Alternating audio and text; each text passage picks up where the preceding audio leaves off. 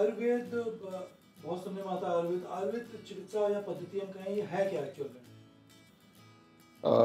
रवि बड़ा अच्छा क्वेश्चन आपने किया कि देखो, आज की डेट में काफ़ी जब से कोविड का संकट हम लोगों ने झेला, पूरी दुनिया ने, लोगों को मैं समझता हूँ कि कोविड के बाद लोगों को ये मालूम पड़ा कि आयुर्वेद एक्चुअल में है क्या। और आयुर्वेद की अगर हम बात करें तो आयुर्वेदिक, आयुर्वेद पाँच हज़ार से भी ज़्यादा सालों से प्रचलन में है और ये माना जाता है कि भाई हमारे जब सृष्टि की रचना हुई, तब से आयुर्वेद है। और आयुर्वेद बेसिकली कोई ट्रीटमेंट सिस्टम नहीं है। आयुर्वेद तो एक जीवन जीने की कला है, जो हमारे किचन से शुरू होता है।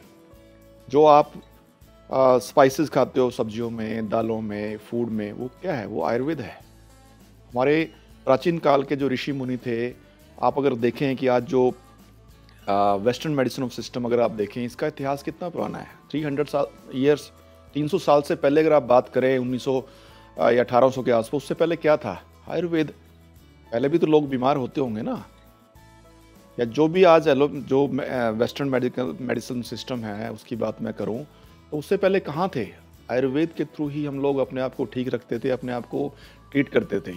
तो ये माना जाता है दोस्त कि आयुर्वेद हमारे प्राचीन चिकित्सा प्रणाली है साथ साथ जीवन जीने की कला है और इंडियन भारतीय चिकित्सा पद्धति है।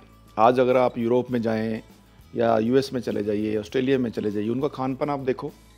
उनके किचन में आप देखेंगे कि भाई जिस तरीके से भारत में हम लोग भले ही चाहे भारत में भी डिफरेंट टाइप की सभ्यता है डिफरेंट टाइप की पत्ती है, अलग चाहे नॉर्थ में अलग तरीके का है साउथ में अलग है, लेकिन उन कंट्रीज़ में कोई भी जिस तरीके का खान पान स्पाइसेस यूज़ नहीं होते स्पाइसेस जैसे हम अपने किचन में अजवाइन यूज़ करते हैं, जीरा यूज़ करते हैं, मेथी करते हैं, धनिया करते हैं क्या है? These are the Ayurveda basically क्योंकि हमारे प्राचीन लोगों ने, हमारे परदादाओं ने, उनके परदादाओं ने, क्योंकि जो वो पत्ती से सीखा, वही हम करते आ रहे हैं and that is the reason कि हम आज हम हेल्दी है, पुष्ट है, और यहाँ तक कि अगर आप पूरा देखो, हिंदुस्तान ने पूरी दुनिया का सबक दिया है इस कोविड में।